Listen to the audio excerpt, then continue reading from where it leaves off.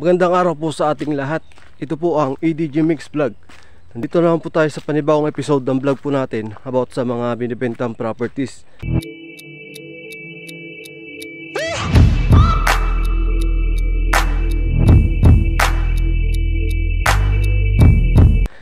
Bali po ay andito tayo ngayon sa bayan po ng Ursales, Pangasinan kung saan po meron pong binibentang property dito na ang sukat niya po ay 2.3 hectares. Yan. Ah, bali po itong property na to ay Mingo Farm po siya. Mingo Farm tapos meron din po siyang ah, fish pond na isa dito. Ayan. Ah, bali po ang puno ang puno po ng mangga na nakatanim dito ay 33 po. Na puno po ng mangga ang nakatanim dito. Yan, na ang presyo po nito ay 300 per square meter. Yan, bali po ang layo niya sa mismong ah, provincial road po ay nasa 500 meters sa mismong ah, provincial road, Nueva Ecija, Pangasinan provincial road. Bali ma- malapit din po itong property sa mga kabahayan po dito. Yan. Meron din pong ah, high school dito, National High School. Yan, mga bahay na po yan. Yan, mga bahay na po yan. Yan po. Yan. Kaya itong property na to ay good for investment. Yan, investment or ah, retirement o gusto niyo rin pong magpatayo ng ah, farmhouse dito ay maganda po kasi nga po mag- tahimik yung lugar. Yan, along provin- ah, along barangay road po siya. Yan. Ah, bali po ang nasasaka po nito ay nasa 8,000 po square meter po yung pwedeng sakahin. Ito po yung nasasaka o rice field po niya. Ah, dito po tayo kukuha ng tubig kung kunwari magkasaka po tayo dito sa fish pond.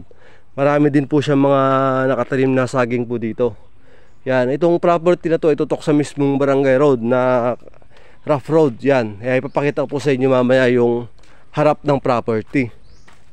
Yan, ang layo niya po sa mismong Manila o NCR o Metro Manila o NCR ay dalawang oras po travel papunta po dito sa property.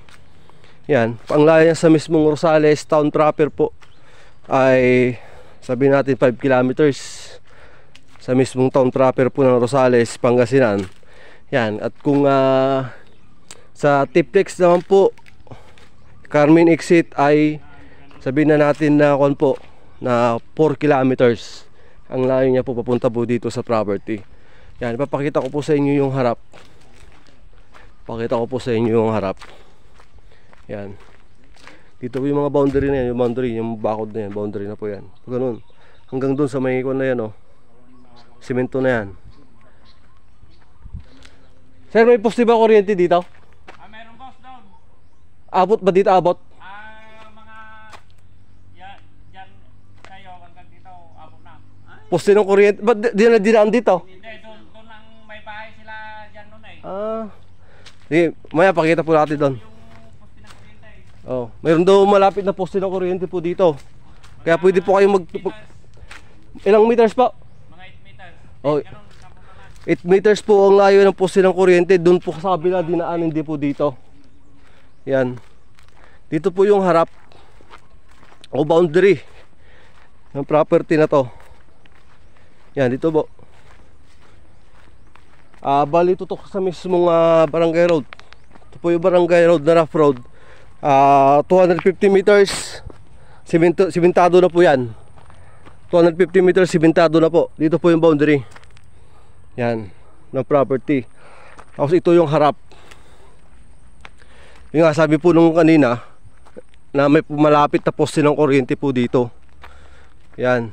Kaya sa lahat po interested buyer po dyan na naghahanap po ng ganitong klaseng property ay maglalagay po kami ng contact number namin sa screen tapos Facebook account. Paki-direct message na lang po kami pakitawagan. Yan po.